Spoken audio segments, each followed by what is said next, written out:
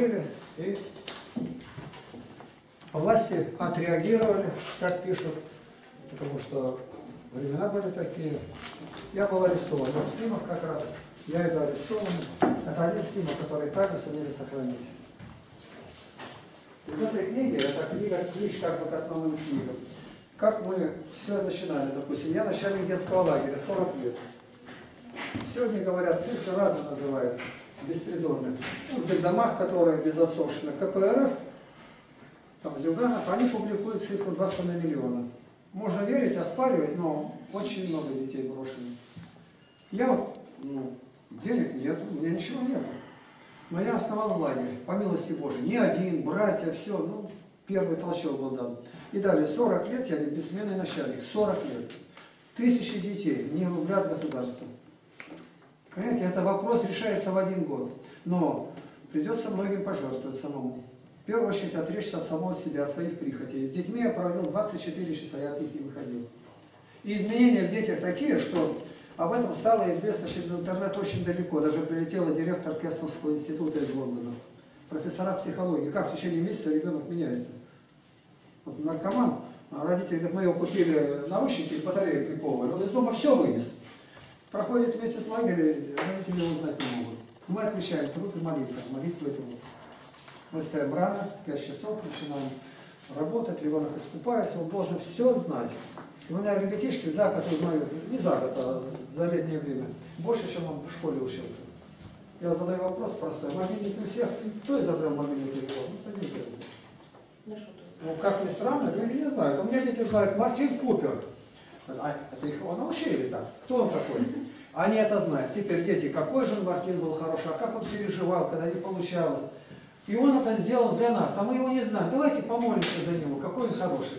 В ребенка надо вложить чувство благодарности, что он еще не родился в мир, а все уже подготовлено для него было. Он другими глазами будет смотреть, не просто окна ходить, бить и писать пакости всякие. Но для этого надо слишком много отдать. Вот на, в России погибло 17 тысяч сел. Погибли навсегда. Я повторяю, что КП, от КПРФ э, одна, я не КПРФ, я просто беру данные оттуда. Нина Данилова, депутат, она говорит, это не потеря в реестре населенного пункта, это потеря земли государственной. Там никого нет, земля пустовать не будет, тут будут жить китайцы, мусульмане, кто угодно. И мы взяли определенный участок земли, получили статус э, образованной православной деревни, где нельзя лгать, пить, курить, материться, воровать, не говоря там об оплотах. Это совершенно другая жизнь. Государственная школа построена, государственная. Но учителя все верующие. Это все отображено в книгах. Вот. Книги, они, как я называю, кто считает их, они не просто говорят уникальны. Уникальны, то есть из ряда вон выходящие. Они просто в одном числе, их больше нет. Вот одна из них. У вас, может, в библиотеке есть труды Александра Меня, священника убитого. Да, да. Это вот мои частные беседы с ним. Их нигде в мире нет. А мы сидим дома, с ним беседуем на очень важный вопрос. Это был эрудит самого высокого класса. Это энциклопедист. Даже в России я не знаю, кого можно было с ним сравнивать. Это все в одной книге. А чтобы проверить, это все на нашем сайте. Там в аудио мы сидим и беседуем. Вот. Нужны ли эти книги? Вот сразу спрашивают, как можно их дать? Не сдать невозможно. Слух, прочтите. Кто спонсирует? Автор приносит благодарность за спонсорскую помощь в издании книги Соколову Борису Александровичу, президенту Объединенной химической компании Щетин Щекин Азов. То есть очень большие люди, ну, миллиардеры, так скажем. Э, Алтай Сбербанк, там, генеральные директора, кому попадают в руки книги, они помогают. Книги эти должны иметь доступ к людям. Они имеют оживляющее свойство. В свое время я вот отбывал в пяти тюрьмах, я показал о том, где. Я знаю жизнь заключенных, о чем он думает. И поэтому, работая в тюрьме, в лагере, я нахожу доступ к этим сердцам. Эти люди выходят, у них совершенно другая жизнь. Нормальная жизнь, становятся некоторые в церкви после этого работают. Но для этого я должен был сам пройти круги ада этого, как называют. На себе все это испытать. Поэтому в книгах вот это все и отображено. Вот этот Новый Завет, я не знаю, кто как из вас верит, это на основании православных святых отцов толкования. За 2000 лет впервые вышло полное толкование всего Нового Завета по святым отцам. За 2000 лет. И кроме того, здесь 240 иллюстраций Гюстава Даре, это мы сами раскрасили, полный лист. Вот эти три книги, вот это вот является ключом к остальным четыре. Они постным в подарок и видели в библиотеке патриарху Кириллу, Путину и Медведеву. Ну и многим архиереям. Вот эти вот книги. Остальные это только по библиотекам. Когда стали у меня выходить книги, я провел за компьютером 30 тысяч часов примерно за 8 лет. Даже вообразить невозможно. Я сам набор делал, там написано компьютерную верстка, сам занимался даже фотошопе. А в 62 года мне показали, 21 октября, как вилку включать в компьютер. Это для молодежи, что ну, никогда не опускайте руки. Если в этом возрасте я искалеченный весь, и Бог открывает, тебе-то он 10 раз больше Бог даст. Ты такой герой молодой. Еще вот так. Занимайтесь настоящим делом. У нас в лагере везде висит лозунг «Россия должна встать». Россия – это мы. И спрашивают, какой вам прок от этого? 95 примерно процентов книг я отдаю в библиотеке. Это примерно, примерно так, 160, может, 5 библиотек уже получили. Это центральная, я дал вот откопировать, парламентская библиотека, Новосибирская, областная, и мы заканчиваем а, районные все. По некоторым книгам хотелось сказать, вот, допустим, у вас есть мусульмане, да и вы сами хотите узнать, все-таки мусульманство наступает очень крепко везде. Вот здесь разобрано Коран по сурам и аятам, это главные стихи, в сравнении с Библией. Это мой труд, больше его нигде нету. Он просто мой труд. И 1300 лет, что о них было сказано, политическими деятелями, литераторами, поэтами, писать, все здесь, 1300 лет выбрано. То есть это громаднейший материал энциклопедии. Вот одна книга есть, о которой я уже всем говорю.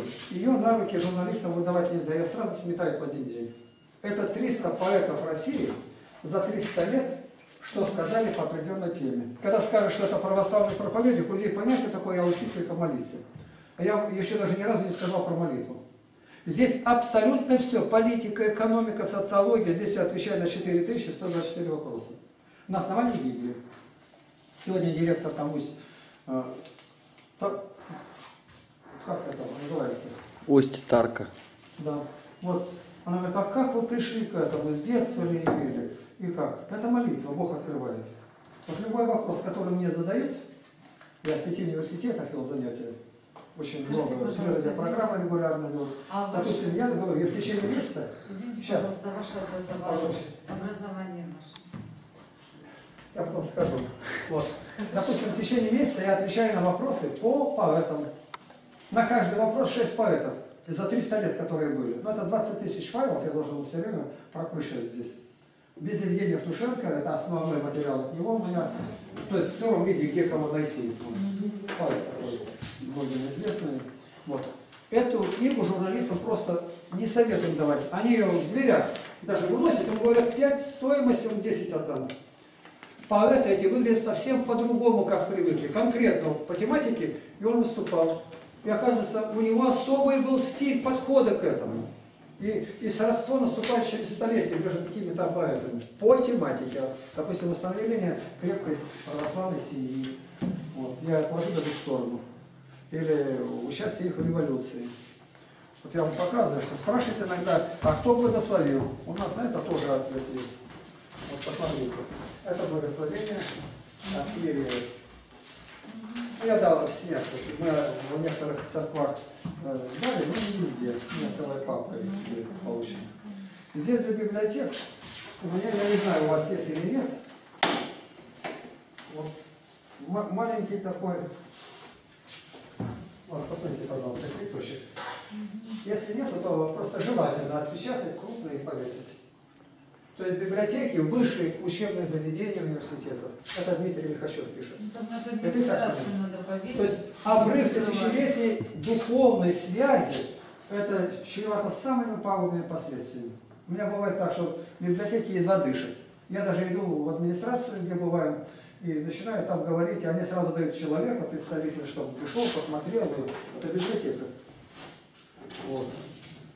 Ну вот это у меня отдельная книга, это как беседа с разными сектантами, баптисты, адвентисты. Почему мы почитаем Божью Матерь, почему у нас храмы, священство, сектант православный. Никаких нападок, просто их учение, они отвечают, задают вопросы и отвечают. Это отдельный том. Все книги сшиты, все на всетой бумаге. Ну, остальное библиотекарям чего говорить? Они видят. Если я посылаю их президенту страны, патриарху, то ясно дело, что не на позор. И библиотеки видите, как они сделаны. Они подарочные, с закладками специально сделаны. Вот. Эти книги, три вот эти, вот даже 2000 экземпляров всего, стоимость издательства завора- заворачивает за миллион. Сегодня ничего нельзя издать. Бумагу издают, готовят в Китае. Вот и все. Нас уже учат, будь здоров. Лес наш закупают, наши серьезные комбинаты закрыты. И где мы едем по трассе, мы от Байкала до Москвы, везде чернявые, красивые ребята работают. А где наши?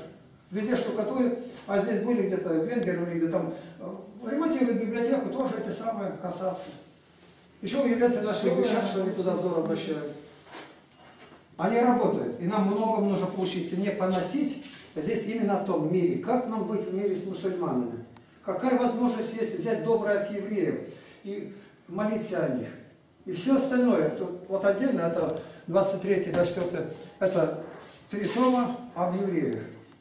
Это 3600 лет, что было сказано. Разбирается их Талмуд, 12 томов. Человек, считающий это другими глазами, начинает смотреть.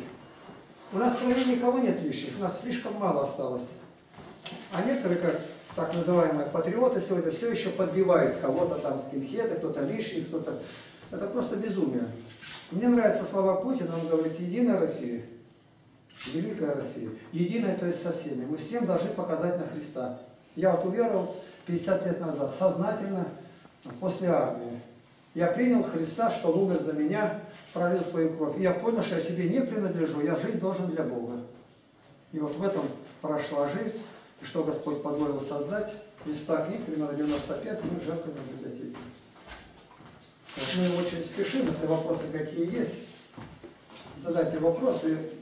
Нам нужно бумагу вот эту написать крупно название библиотеки города вот здесь.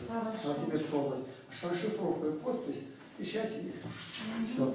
И мы хозяева. Как только я в папку положу бумагу. Я поближе наклоняюсь, может что-то спросить хотите? У меня Ну, работа громадная, сейчас просто все не накинусь. Знаете, ребята, вот молодые, я, ну, образование. если я с военкомата был знаком, вот видите, беда сегодня какая, откосить от армии называется, то есть не пойти. В наше время было не так. Если меня в армию не взяли, это означает, я бракованный какой-то. На меня девчата будут смотреть по-другому. Мы любыми путями, чтобы только меня взяли в армию, не показать, что у меня есть какой-то физический недостаток. Ну, я в морфлоте служил, ну, просто здоровье было отлично. Я всем людям говорю, у тебя шанс сегодня переменить жизнь во Христе. Ты начни для Бога трудиться.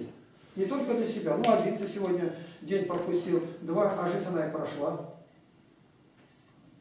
Вот у вас какой-то вопрос есть. Вы откроете вот это вот, третий том, это воспитание воспитателей.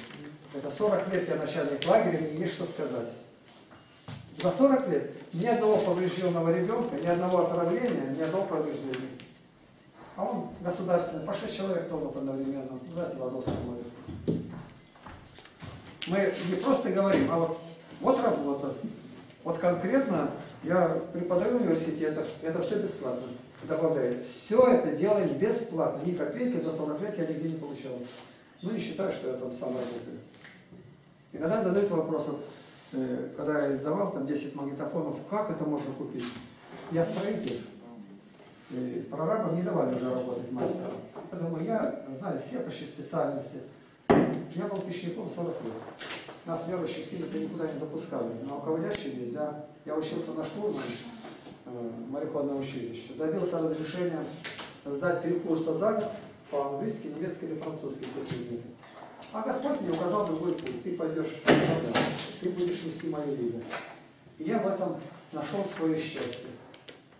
Я сегодня уже говорил, как узнавать счастливого человека. Черышевский говорит, чем большему числу людей ты приносишь счастье, тем ты счастливый. Спасибо, Господи. Так, вопросы. Ваше образование. В образовании. Да, мне Я вам сказал, я заканчивал строительную технику. Это профессионально у меня. Учился на штурман, закончить не дали. А остальное все самостоятельно. То есть самообразование, да? Я учился столько, как считает сегодня, примерно 10 университетов. 50 лет я непрерывно учился.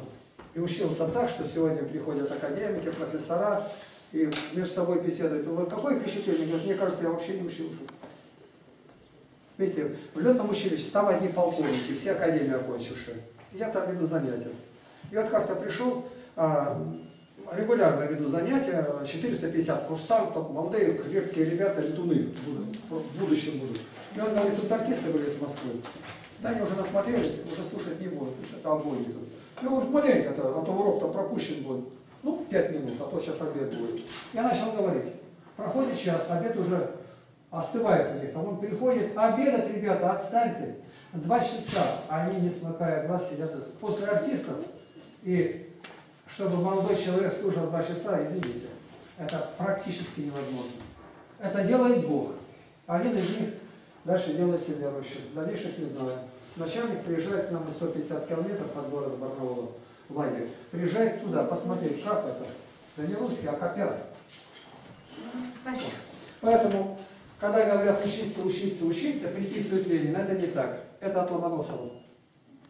Его когда спрашивают, какая ваша самая большая страсть была, он говорит, учиться. Притом учиться везде. Вот здесь вот я, примерно, это 300 поэтов только России, примерно 200 поэтов, которые просто вкрапленные, зарубежные поэты. Я ну, практически всех знал. Я мог рассказывать стихотворения около 6 часов. Разных поэтов, э, разных стихотворений. И здесь же моих 3467 стихов. Личных, А? да? Личных. Лично мои. Около 80 из них положены на музыку. Он в той книге первой. Стихи, ну я все по 9 куплетов, почти все.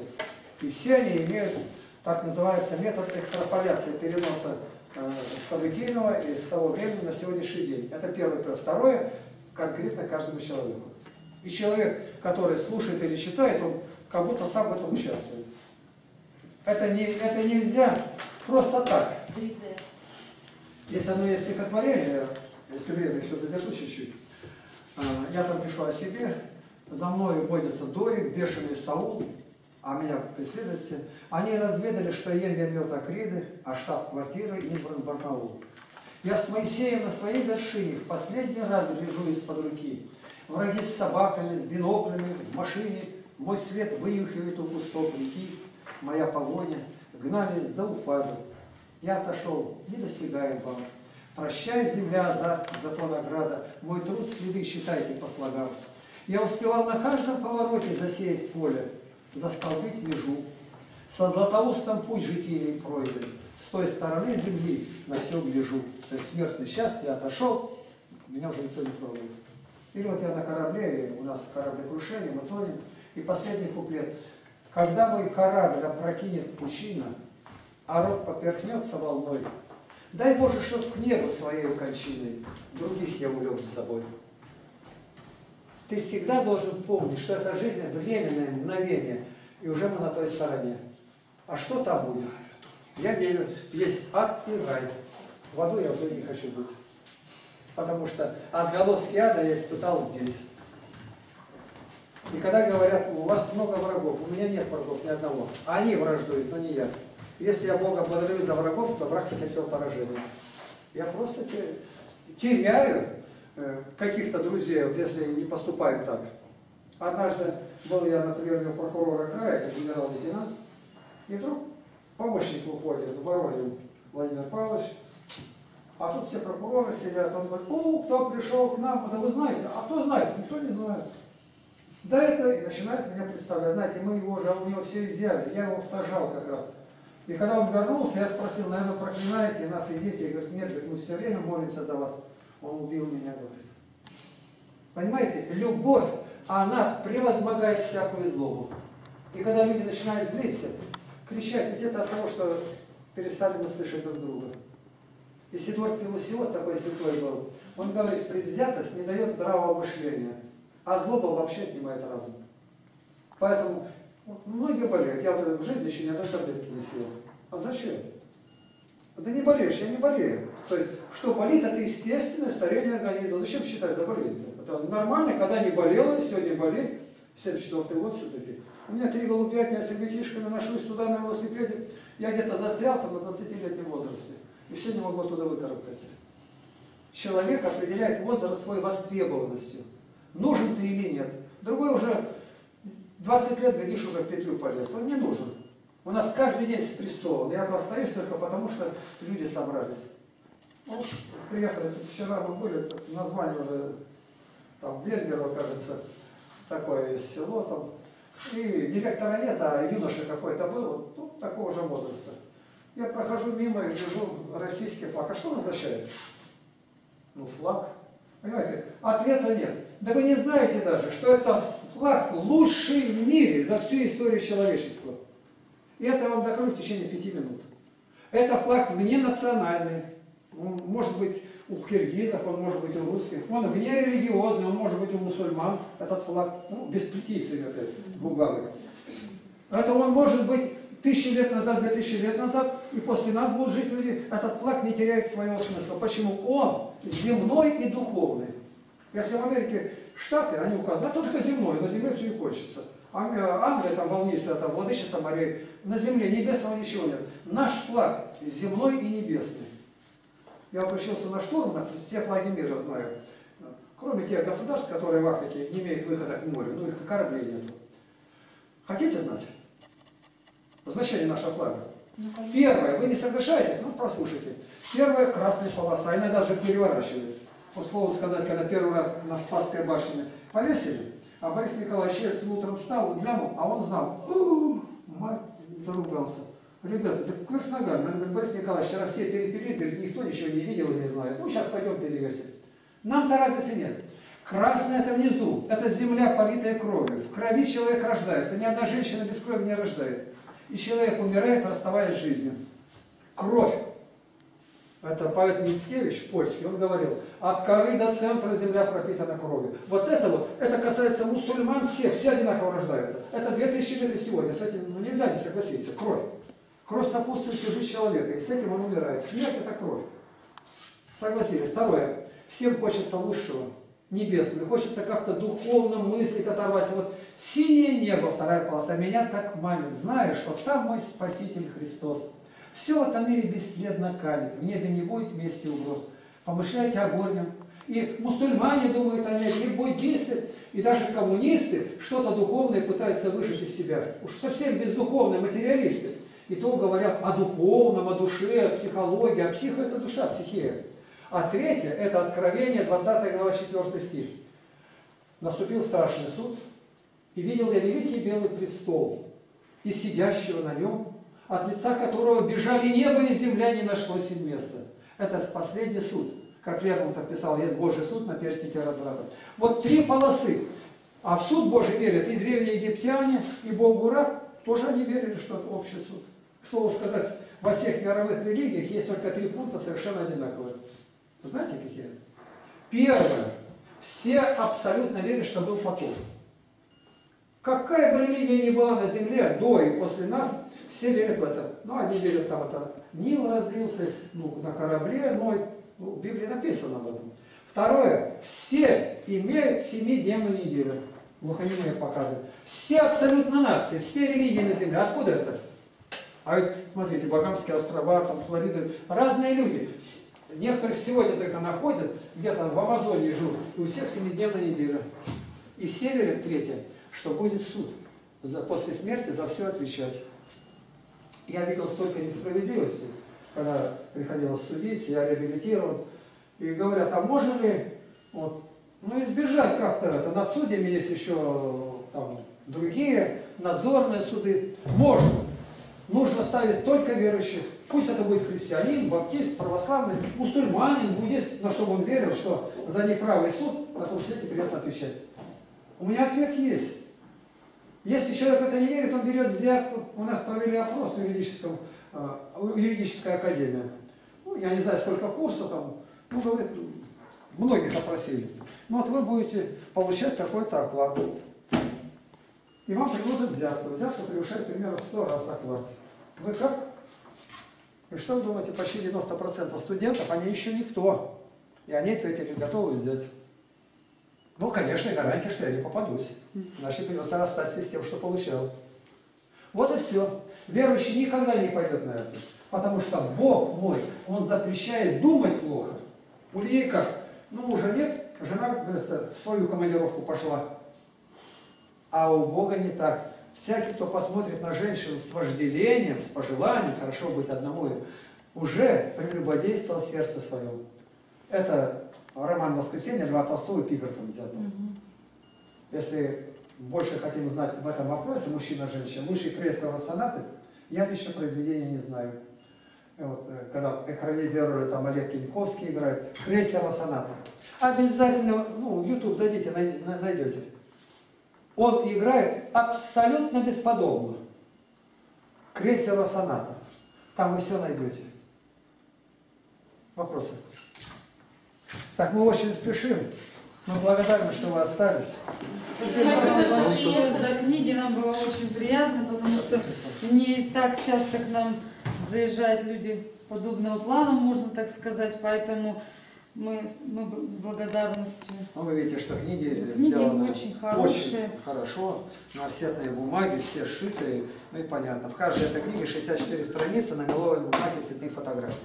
Притом это все взято из жизни. Мы не где-то берем конкретно, вот мы начали, делаем, начали, показываем, и вы можете, и вы это можете. Ну, три ступени, отвергни себя, возьми крест, следуй за мной. Крест, то есть, благодари Бога за здоровье, за все, не ропщи. Болеет от чего? Люди говорят от нервных стрессов. В первую очередь, не злись никогда, голубушка. Не злись. Попробуй. Даша, не завидуй. Не завидуй, никогда не завидуй. Не обижайся, не ревнуй. Вот четыре хотя бы не возьмите, и у вас здоровье сразу будет другое. Никогда. Злишься, а что изменится? Ничего. Ты, написано, врага накорми, он голоден, и сделаешь его другу. Это все в книгах здесь отображено. Спасибо большое. Храни вас Господь. Мы хотели попросить, куда мы едем-то?